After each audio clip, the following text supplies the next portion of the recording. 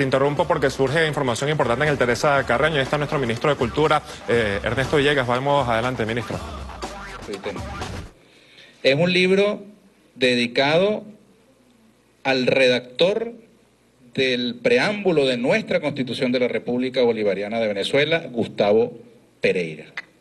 Es un libro además que integra las artes, porque en rigor no es solo poesía, no es solo literatura, por ser de un poeta, es que tenemos aquí las hermosas fotografías del poeta tomadas por el poeta, Enrique Hernández de Jesús, que encarna en sí mismo esa integración de las artes de las que les vengo comentando.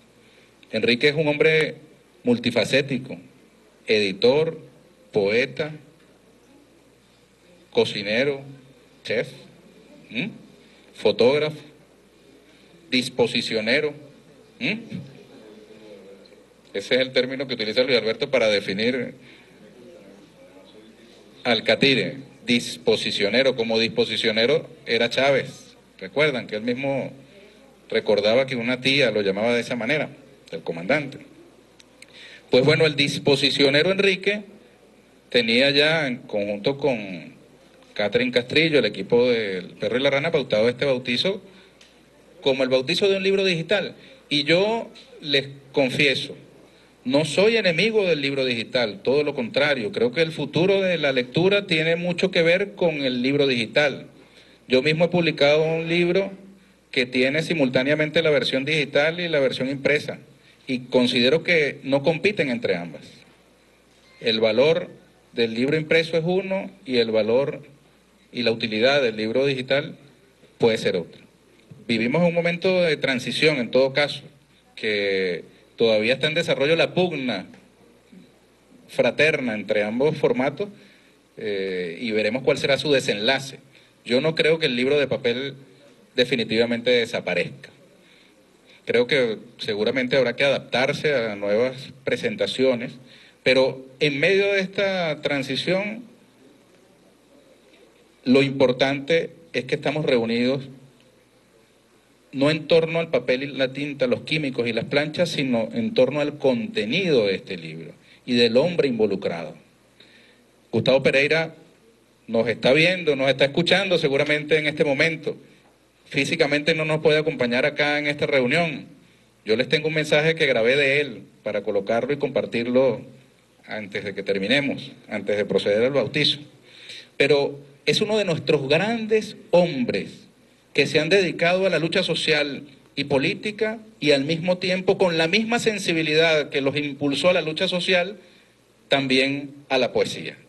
Poesía hermosa que salpica las páginas de nuestro texto fundamental de nuestra Constitución de la República Bolivariana de Venezuela. Gustavo Pereira es el redactor del preámbulo, como ya les había dicho.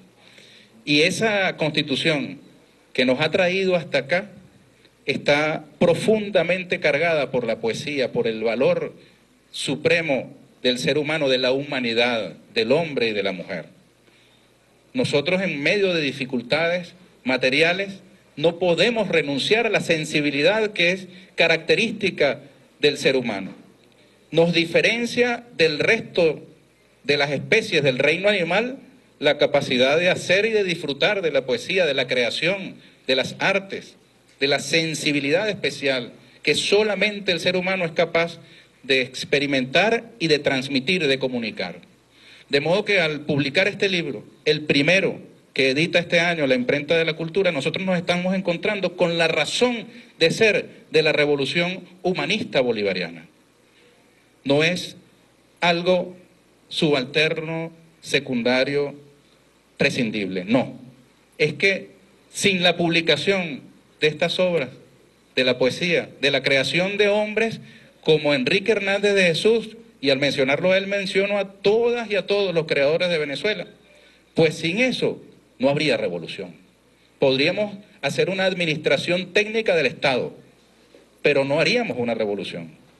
Y lo que vive en Venezuela y el mundo en este tiempo es un tiempo revolucionario. Mientras en los Estados Unidos el jefe de la CIA es nombrado secretario de Estado, mientras la guerra sustituye a la diplomacia, nosotros aquí en Venezuela nos encontramos con la razón de ser de la revolución bolivariana, que es una revolución cultural, que es una revolución que está dedicada a la emancipación de las conciencias, del espíritu, que ha permitido que millones de hombres y mujeres se encuentren con la lectura, con la capacidad también de crear, de publicar.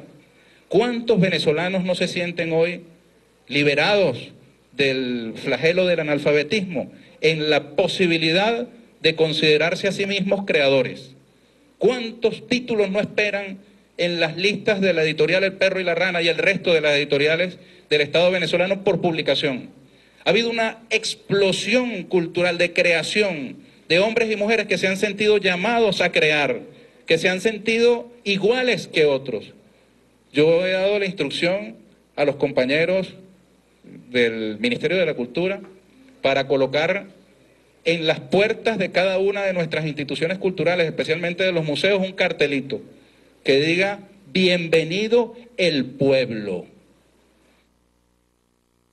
Escuchábamos las palabras de nuestro ministro de Cultura, Ernesto Villegas, en la presentación del libro Gustavo Pereira, Fiel a la Palabra. Nosotros retomamos con eh, materia. Tenemos aquí como invitado.